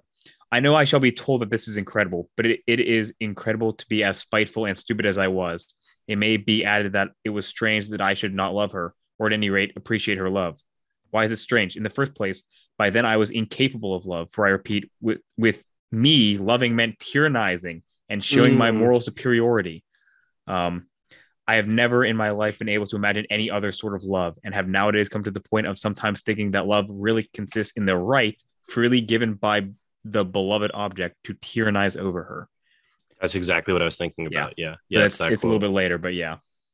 he has this like there's this really ugly aspect of him where he has this like he has this real inability to have a relationship with someone where there's no dependence either way Yeah. Any kind of relationship at all. I mean, this would be true with Yeah. like Zverkov or you know, the officer. Yeah. No i, I just get the sense that like because so, so, you're right he doesn't have any healthy relationships but you get the sense that like i mean he holds down a job you know what i mean? Like he borrows money from that person like he's these are unhealthy relationships but he's able to maintain them. But Yeah. there's n- but there's never once a hint of a relationship that he maintains on anything close to an equal footing. Like he doesn't No, have any no. friends. The, the one friend he describes has ha- having had, it was just like him oppressing the other. Mm. That like that that was his one like po- what he viewed as a positive relationship. That might have from his perspective that might be the best, and it was tyranny. Yes, and and like even you know the relationship he has with the guys sending Zverkov off. Uh, that's not a. It's not actually a relationship. They've they've long forgotten about him. They like never wanted to see him again. You know what I mean? It's just, yeah, it's like very. I don't know. He's just like very ugly side to him, um, which I found disturbing. Um, It it is quite disturbing. so he just um, like it, what uh, their their their first conversation really terminates in this uncomfortable. Like he just kind of leaves. Oh, it was so bad. Can I actually like read this? Yeah, it sure. was so bad. Um, this is like right at I think shortly after the like a book comments. Mm. Um, uh, let me just find a good place for it. So, I'll just read the whole paragraph. I knew I was speaking stiffly, artificially, even bookishly. In fact, I could not speak except like a book. But that did not trouble me. I knew, I felt that I should under um that I should be understood and that this very bookishness might be an assistance. Um, but now, having attained my effect, I was suddenly panic stricken. Never before had I witnessed such despair. She was lying on her face, thrusting her face into the pillow and clutching it in both hands. Her heart was being torn. Her youthful body was shuddering all over as though in convulsions. Suppressed sobs rent her bosom and suddenly burst out in weeping and wailing. Then she pressed closer into the pillow. She did not want anyone here, not a living soul, to know of her anguish and her tears. She bit the pillow, bit her hand till it bled. I saw that afterwards. Or, thrusting her fingers into her disheveled hair, seemed rigid with the effort of restraint, holding her breath and clenching her teeth. I began saying something, begging her to calm herself, but felt that I did not dare. And all at once, in a sort of cold shiver, almost in terror, began fumbling in the dark, trying hurriedly to get dressed to go. So this is like yeah, this he- is what he- happens. He like she's like grieving practically over like his over the conversation they're having, and Yes. he has like a, of this a stray thought to comfort her, and then decides no, let's let's just leave. yeah. Um, and then that kind of the scene basically ends with like, you know, he gets a candle. Um, she gets up because she's like the, the light is there, and then Mm. um, he's like, come to see me tomorrow, and she's like, I'll come, and then it's just like eh, just this weird, anxious, um, kind of departure, Yeah, like this it's so goodbye. Well, and, and he also like doesn't wish the best for her like at heart because I mean re- Hmm. re- like recall like as like he's departing, she like you know quickly says I need to get something right so she runs and grabs a letter that I believe some Mm. someone in medicine who she had met at a party had like taken a fancy to her and had written her like this wonderful letter about how he's you know super interested and is like attempting to court her and this person's like of apparently like decent standing right and he doesn't and- know and- of her background. he doesn't know if exactly exactly and, and then like and like what's the underground man's take ah, it's going to amount to nothing and it's almost like and he That that was her real hero. Yeah, Yes, exactly. exactly, Yes. exactly. So he like dismisses like any possibility for her real elevation. Dude, So, yeah, I mean, I'd forgotten It's not an that. elevation He's unless worst. it's Like- through me. So exactly, exactly. He's actually willing to sacrifice her real possibility of escaping this life so that he can sort of torment and be tormented by her. Like it's it's like it's a horrible, dude. Yeah, no, exactly. is- So so it's like you know any decent person in that m- might actually stay and give advice about like okay here's how you might you might want to pursue that you know and I mean after like pretty much saying okay your life is a hellhole and you're going to die alone in like in basically like an unmarked grave and people will toast you at the bar one final time and then that will be the end of your existence Like all of your abusers will like toast you at the bar. and she's like, hey, actually, there's like a potential way out. And he's like, it'll amount to nothing. And it's just like, he's just a bad guy. I had forgotten So- about that. It was like Yeah. villainous. no, Yeah. that, it's Yes. really bad. Yes. And and um so he leaves and cuz he he thinks that she's going to come see him the next day and she doesn't. And this sort of sends him into like an unhinged fit of like just Thinking, overthinking, self-loathing, like the hero complex disintegrating. So you need to build it back up. It's it's bad. It's pages and pages of like I was cackling though at the absurdities with his butler Apollon.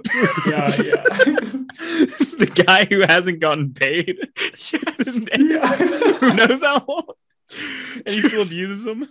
and, and he, he he calls him his tormentor. He's because like the guy, it was like it was like the weirdest thing I've ever read because he he had like he had um withheld Apollon's pay to pay for like the dinner and like the like the um you know he, he was already in financial distress because of like the you know the leather gloves the beaver the faux beaver fur you know so he just like he just like withheld this guy's pay and the way he asked for it was like very very minor in comparison to like withholding his pay you know this this like the butler like he said he like stood in his doorway or whatever just with like clenched fists just like stared at him which was like Well, well, he'd, he'd have like pursed lips yes and, and would like maintain eye contact.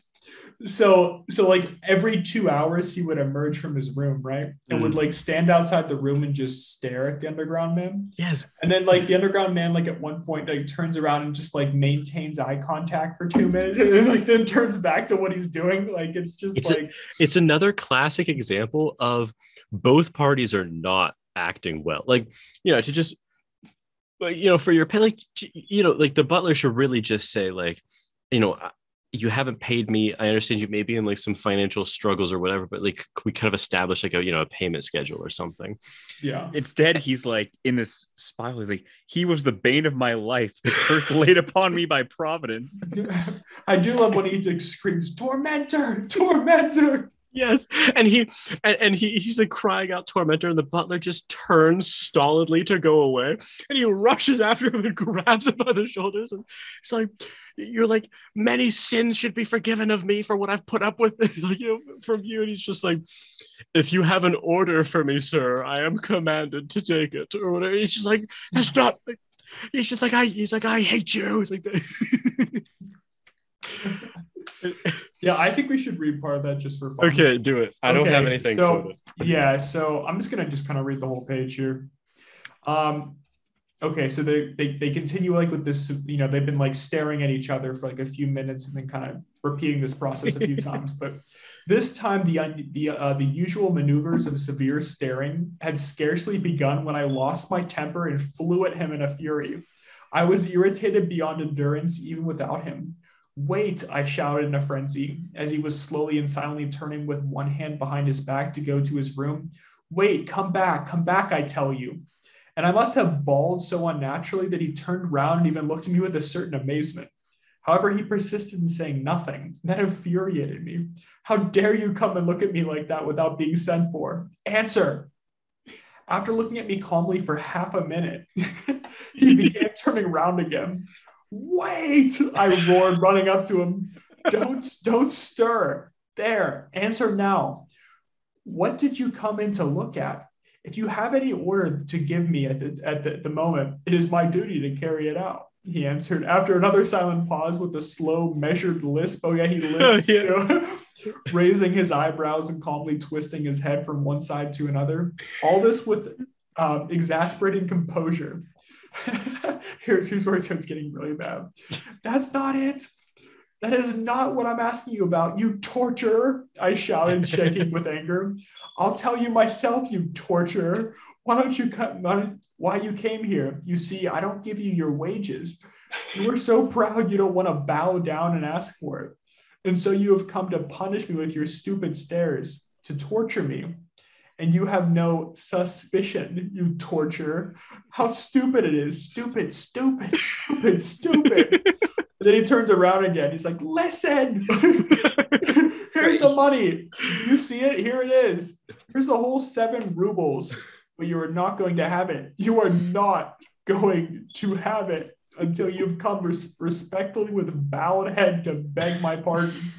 Do you hear? He, responds again, that cannot be. He answered with the most unnatural self confidence. It will be so. I, I give you my word of honor. It will be. And then like it continues on, but I, I won't keep going. But remember, he like asks him to go to like uh, he's like go to the police "Yeah, go fetch the police. Go at once without a minute's delay and fetch the police officer. Yeah, because Yeah. the butler said like I could have you arrested for this behavior. He's like, then go. He's like, he's like do it, have me arrested. I love that he had intended to like kind of withhold the pay for a fortnight, possibly two, and he lasted four days before he's like, here. I know why you're here in the articulated forum. yes, this is madness. It's like a real telltale heart moment there, where it's yes, just like yes. like the butler like probably goes into the room and for two hours like isn't thinking about the money necessarily, but it comes out and like we'll kind of like let him Yeah. know. But it seems like like the underground man is just sitting there all day, just like you know what I mean, just, just like waiting for him to emerge from the room. So Yeah. Yes, And yet another instance where like this is a clear social inferior because he's his butler. But Yes, the butler is yes. just better than him, Yes, above him in every way. And dude I, I actually hadn't thought about this until like listening to adam read this but you could almost imagine that the butler himself is a bit of an underground man in certain respects like from this but he you could imagine you know he had you know was a good young lad at one point had sort of a bad fall in life. He's got to be a butler for someone. And then he interacts with this cretin for like seven years he's been his butler. Like he's probably got some underground tendencies of himself after that long. You know what i mean? So it's yeah, just yeah. Like the like the cycle of just madness kind of perpetuates itself Not a healthy relationship yet again.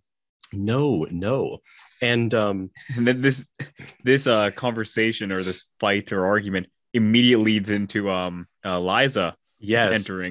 because she opens the door as he's like racking him like, with the shoulder Yeah. and he, well, he's screaming, I will kill him. kill him, I shrieked. so yes um and and he you know just like turns and just like runs to his room in like embarrassment and shame. And um and she you know she comes into the room and it's very it's very awkward because they're both like not speaking. But he's also like dude it's his emotions in that conversation are just like unhinged where he's like he was like he's like i positively loathed her for coming and like wanted to punish her for her silence now. But then but then he'll like obviously have you know he's like acting out like you know deep feelings for her because uh, it's not explicitly stated but you get the sense that this was the first girl he was ever intimate with. Um like you uh, you definitely get that sense from him. Believable. um, yeah believable. And um because he he's, he describes himself as like a very unattractive man too. Remember, he was like, I caught a look of myself in the mirror at the brothel. I mean, it's like the, the third word and like or the third uh, sentence in the book is I'm an unattractive man. it, it, it is hard to kind of get exactly what he looks like though because you know i i, I don't want to like derail us for a second but okay so when he was talking about his interactions with like his coworkers he describes his face as unintelligent right he says like he wishes he had a more intelligent face like he he I thought he said he had an intelligent but No, no. unattractive face. No, actually, he says that he had later on, but that's why uh, the, here's the contradiction. Oh, okay. Later during like the conversation during the dinner, um, he says like you know I have a much more intelligent face, and he speaks of like the intelligence in his face, but I'm pretty sure he says he has an unintelligent face and, and like wishes for a more intelligent face. He thinks it's kind of Hmm. brutish. Depends on where Um, you are in like the endless Okay, cycle of self-loathing found- and egoism. I found this, but I was absolutely and painfully certain that my face could never express those perfections. But what was worst of all, I thought it positively stupid looking. And I would have been quite satisfied if I could have looked intelligent. In fact, I would even have put up with looking base if at the same time my face could have been thought terribly intelligent. Exactly. Yeah. So so that that's that's on one hand he's saying that, but I'm sure your memory is thinking like, okay, later on when he's with like you know former mm-hmm. schoolmates, he speaks of how intelligent his face does look.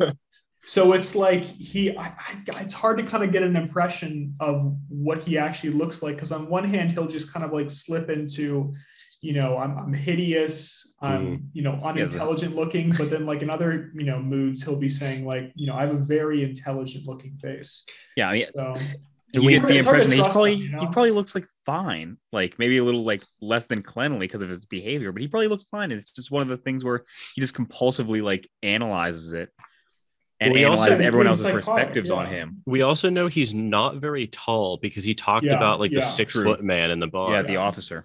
and we also know that he's very kind of withered looking um yes. yeah from the conversations with his friends because they you know oh how thin you've like let yourself Yeah. get yeah yeah um like I I don't know. Did did you guys have any thoughts about like the conversation, the second conversation with Liza? Because ah, it was just like the entire thing for me was very weird, and I didn't really know what to make of it because he would be like, I mean, in like the classic kind of paradoxicalist that he is, he would just be like hating her one moment and then just like imagining a life with her the next, and it was just, I, it was like very, it was just, it was very like It, it was just like it, it was just, tortured. it, there was just no way for i mean like the the um almost like the scenes between the conversations are just completely different because in the first one it's like she views him as a hero and Yeah. like that, that that pleases him greatly. But obviously when she comes to see like the squalor that he lives in like something that just like in his mind he thought that she viewed him as a hero. And later on in his mind he thinks that that's like fallen apart in her mind. So like for him it just like um he completely goes mad because of that So so that's true, but at the same time, doesn't she also make a comment about like she kind of has this desire to almost like abscond with him? Hmm. She she I'm having a hard time finding it, but she almost like motions towards this idea of like both of them just kind of like eloping and starting a life together. Um yeah he doesn't like that though because that, that would that would put them on like even Even footing, of point, course. Yeah. he's, yeah he's no longer the hero Yeah, So- no, of course. I also wondered um on page 94. It was on page 94. Um he this is the morning after. Um and he says, and I was so taken up by that morning that I actually forgot all about Lisa. And he says Lisa, not Liza. i didn't even notice that I actually wa- I wondered if that was purposeful there, but like totally purposeful yeah, in a way in which he's trying to convince us that he didn't care about her, but he obviously did. i didn't notice that that's interesting I, I read that and I was like, wait, this is there's no way that this is a typo. especially I- considering i was reading it as lisa the entire time. Of course. time Yeah. So, so whenever I read Lisa, I didn't even notice that. Oh, I was reading as Liza. Okay. So that's well, that's why, yeah. yeah. Um, but yeah, it's like he's he's like constantly because he, he he was even making those remarks like to the readers. He was like, you know, I assure you, this like what you're thinking could not be farther from the truth about me. Actually, I don't see a um, typo in my version. oh, really? I see only I'm because like I'm looking at like the Word doc, so I'm just Control F. Um, but I don't Okay. see I see consistently L I S A or L I Z A. Oh, Excuse me. okay. Interesting. Even on page, even on it's the beginning of chapter eight, part two. Give me one sec. the very end of the first paragraph of chapter eight. Forgot all about L I Z A. Yeah, so it's consistent Oh. there. That's odd. Interesting. I wonder if that's like just an error on the translator's part, or if that's like some nuance that wasn't captured in the translation I'm looking at from the Russian. Interesting. It's consist- fits. it fits with either, but it's like, dude, the the the placement of that typo, because like if it was anywhere else, there's how many times was Liza written? I don't know. Maybe maybe I'm like you know, 37 according to mine. Okay, so I'm being a bit of an underground man myself, then like finding patterns where they don't exist. But I don't know. I'm I'm not I'm not sure that it's not a typo. Yeah, it's Neither spelled, am I, it's spelled correctly sure. in the same paragraph. So Ooh, uh, maybe yeah, maybe. yeah. Um, um,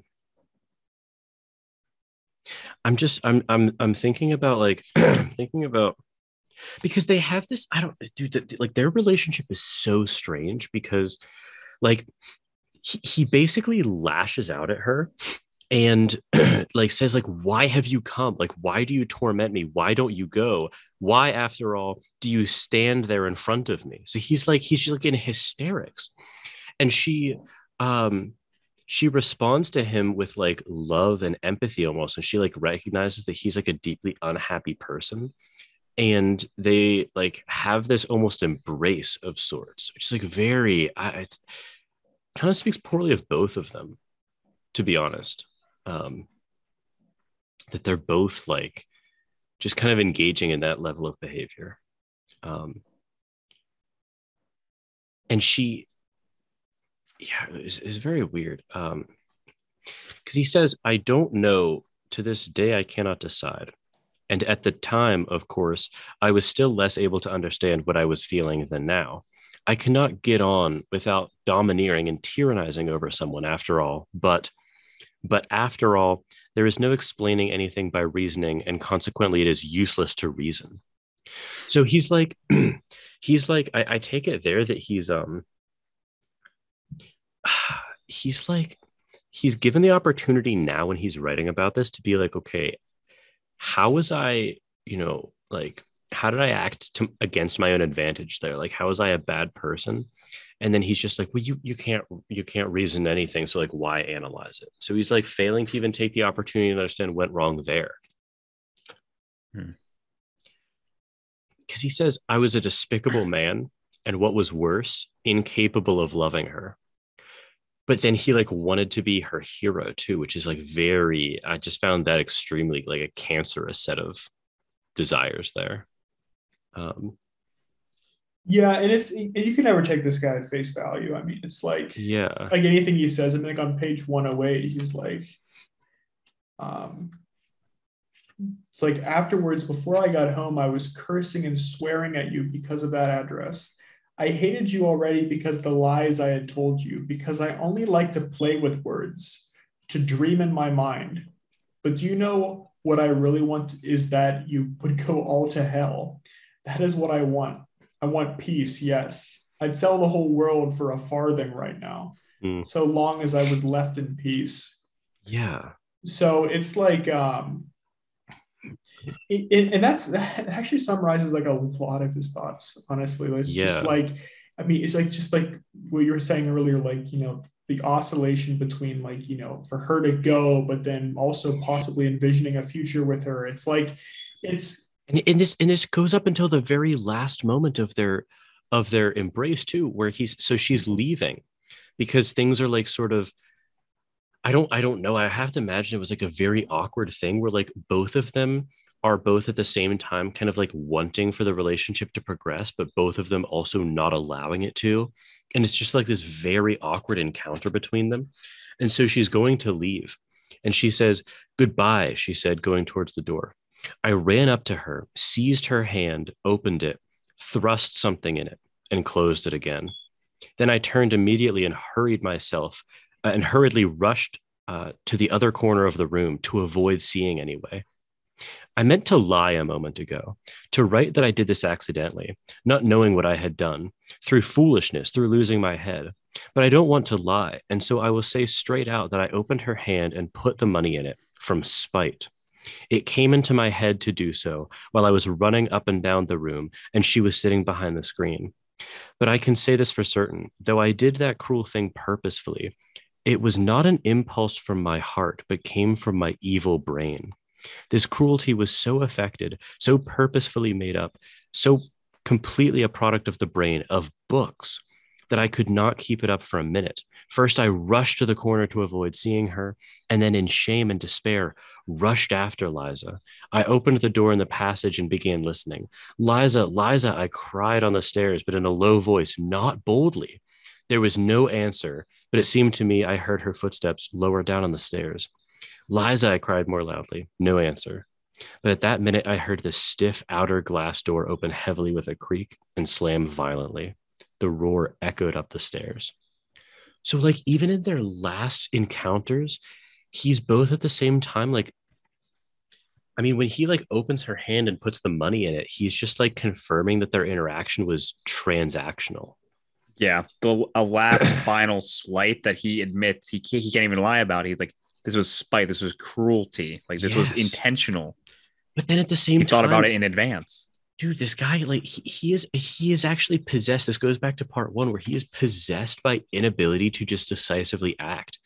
Because he does that out of spite. He's like ashamed of it. He turns away. She leaves. He runs after her but shouts but not loudly. Like Yeah, it, dude it's like th- this guy is like actually just this is like horrible. This is like this is like it- it- hell. it was like mega cringe at this point, to be Yes, honest. Like yes. it was, yeah. or giga cringe. Yeah. Yeah. he yes. yeah. I mean he he clearly has feelings for her, but hates himself for it. And it's just like a cycle that just perpetuates and perpetuates to the point where he like at the very end he just sees the opportunity to give her one last slight, right? Like Yes, dude. It's Thank you just for your time. It's horrible. and and she she gets the upper hand. Like she, she refuses. Like she crumples up the bill and he finds it later, like at the bottom of the yes, stairs. yes. Like he like this is like you know a very intentional ending to the story, but he, he has put himself below the prostitute. Like yes, yes. at the end of this, like Liza is better than him, just strictly. Yes. And he even says, like, a moment later, I flew like a madman to get dressed, flinging on what I could at random, and ran headlong after her. She could not have gone 200 paces away when I ran out into the street. It was still an it was a still night, and the snow was coming down in masses and falling almost perpendicularly, blanketing the pavement and the empty street. There was no one in the street, not a sound was to be heard. The street lamps gave a disconsolate and useless glimmer. I ran 200 paces to the intersection and stopped short. Where had she gone? And why was I running after her? So he's st- he's like he just dude this guy this is like a oh, this is like a horrible inability to just like escape his own head. It's like it's horrible honestly. He says why to fall down before her to sob with remorse to kiss her feet to beg her forgiveness. I longed for that. My whole heart was being rent into pieces and never Never will I recall that minute with indifference. But what for? I thought. Would I not begin to hate her, perhaps even tomorrow, just because I had kissed her feet today? Would I give her happiness? Had I not again recognized that day for the hundredth time what I was worth? Would I not torment her?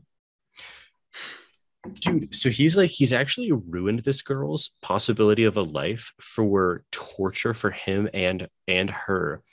And you get the sense that like I don't know about like you guys, but you, I just get the sense that like um he will be in agony no matter how it terminates, and he's just like oscillating back and forth between different ways that it terminates, and constantly just, uh, dude, it's like a, it's just, oh, my, it's like horrible.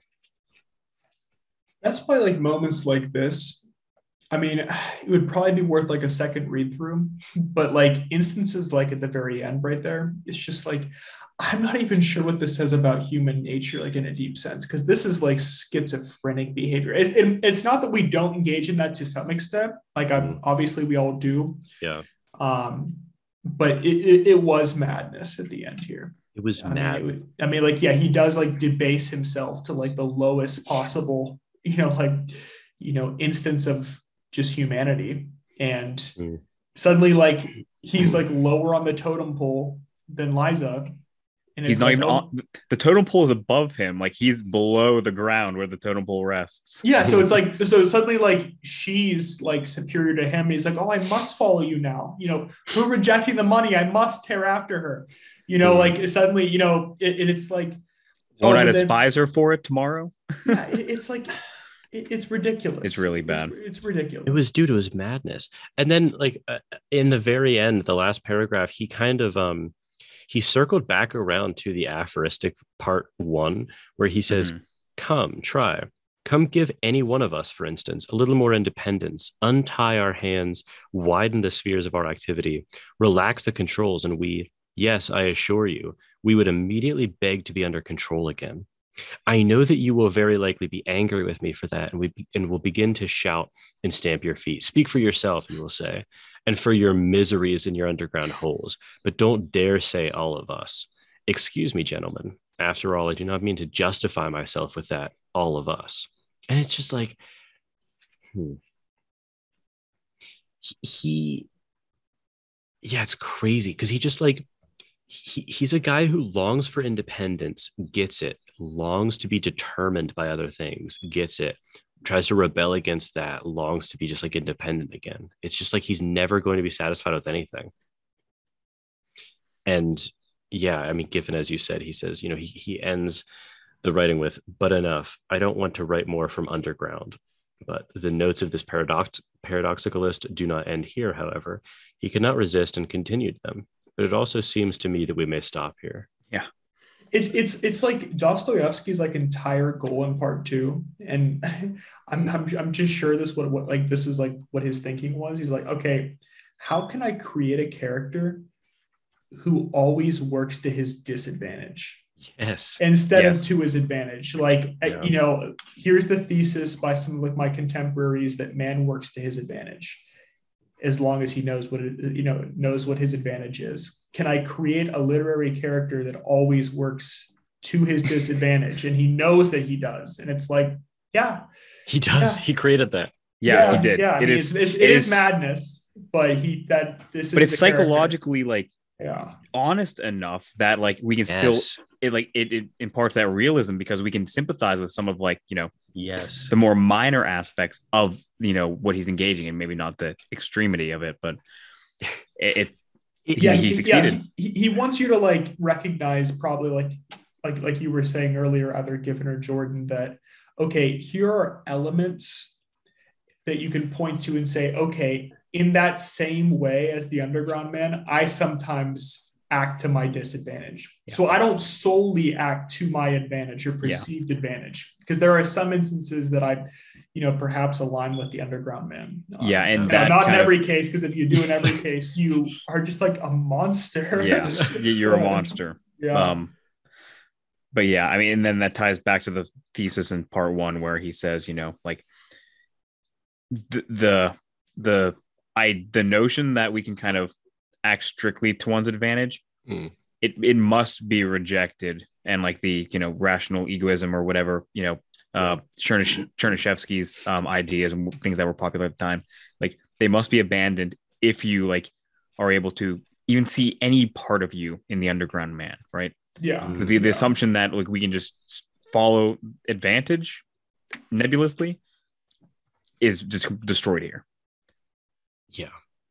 because this Yeah, is a man yeah. like adam said strictly to his disadvantage almost every moment Hmm. is just Yeah, he, yeah, he never acts to his advantage. No. no No, Like- never once. Yeah, it's Nor always, ours. always to his disadvantage. And I'm not sure I really realized that until like halfway through our conversation, where I'm just like, yeah, he, he he's like literally the antithesis of Chernyshevsky's like thesis. So, Yes, yes. yeah. Uh, like he's he's he's the opposite of Homo economicus. He's a Homo min- Homo minimus. just dark homo economicus yes, yes, just strictly minimizing his advantage yeah, yeah. I I I would be actually really interested, uh, because obviously, like you know, we're three guys in our early twenties reading this. I would be actually really interested to hear people's reactions to this who do not fit that demographic. Like, uh, like a like if you know, just like you know, one of our friends who's a girl read this. I don't. I I don't. I kind of question if they think it would be because like I don't know about you guys. This was like one of the best novellas I've ever read. yeah, same here. This is like one of the best things I've ever read. yeah. Oh, I love yeah, it. I agree. I agree. I I just want. I honestly wonder if that would be a very gender biased response. I feel like it would change a lot of like the at least impressions when you're reading through, especially like the the lattermost part of the example. Yeah. Um, like the you know the process with Liza. Um, that would probably like Yeah, that's tough. change it slightly. But I feel like every other idea in there in every other scenario would be pretty fair game. True, true. Maybe it's just because it's like a particularly male. Um, the like apotheosis of the story is particularly male. You know, with the That that's true. prostitute. Yeah, but I, I feel like a lot of the elements, like you know, fr- you know, friend groups and like being in a bureaucracy, all those can kind of ring true, even if it's slightly tinted whenever you get to the you know the prostitution element. That's kind of hard to yeah, be able to relate to in the same way. yeah, fair enough. That's a, just a gendered profession. Fair enough. Yeah. Well, I don't know if we have any more thoughts, but I'll just say to the listeners, the the edition that I got, I I cannot recommend people get this enough because it's like a it's a very enjoyable read and it's also one of those reads where, you know, I don't know about you guys, but I always kind of intend to read in chunks, you know, like I just and I it, this was one of the books where I just it, like went over what I intended to do because it was just so good. Yeah. yeah. Yes. So, with that recommendation, I I also hope that people can't relate to the story too much. Yeah, if you come out and he's like the underground, the underground man is like my hero, another creature. All hail the underground man. Yeah. Uh, Um, Finally, my story has been told. yeah, truly. Um, all right. Well, I don't know what we're gonna do for for uh, the next reading, but it'll be more existentialism. So I hope people are enjoying the series and tune in next time. Well, I hope you enjoyed that episode of Plato's Cave. Um, I always enjoy discussing topics with uh, with these two guys. So, if you want to um, support the show in any way, you can do so simply by sharing it. Uh, I'm hoping to get this show out to more people. Uh, and so, if you want to share it on Twitter or social media, that would really help me. Uh, you can also rate it on Apple Podcasts, uh, like this video if you're watching on YouTube, or subscribe uh, via Apple Podcasts or an RSS feed. Uh, you can also discuss it on your own show and link back uh, to my website, or you can connect me with recommended guests or topics to cover. you can get in contact with me at Plato's Cave Podcast at gmail.com. Follow me on Twitter at Jordan underscore C underscore Myers, and I now have a website for my philosophy endeavors at jordanmyers.org. If you want to know a little bit more about me and my fellow co hosts, um, as I said in the introduction, I'm a master's student in philosophy at the University of Houston. I did my undergrad at the University of Pittsburgh, where I studied mechanical engineering and philosophy. And now that I'm back at school, I'm hoping to more closely study uh, moral responsibility, free will, ethics, epistemology, and moral psychology. Those are topics that I was uh, introduced to and got really interested in in my undergrad work. So, uh, Adam and Giffen accompanied me on this show, and Adam is uh, one of my oldest friends. We actually met in kindergarten, um, and we've been interested in philosophical topics for as long as we can remember, and in a lot of ways, it's been the basis of our friendship. Uh, Adam studied chemistry and biology at Cornell, and he is currently working at a law firm. Um, and he's especially interested in moral responsibility as well, but also law, religion, and free will. Uh, Giffen is also one of my oldest friends, and uh, we've been friends since elementary school as well. Um, Giffen studied biology and economics at RPI, and now he works in human health research. Uh, he believes that there's very interesting overlap between both of his fields of study and philosophy, and he's particularly interested in exploring political philosophy. So this series was right up his alley. Um, and with uh, with all of that information, again, I hope that you enjoyed uh, this episode, and I hope that you get in contact with me or, or follow my work in any way that you uh, deem reasonable to do. So, with that, thank you for listening.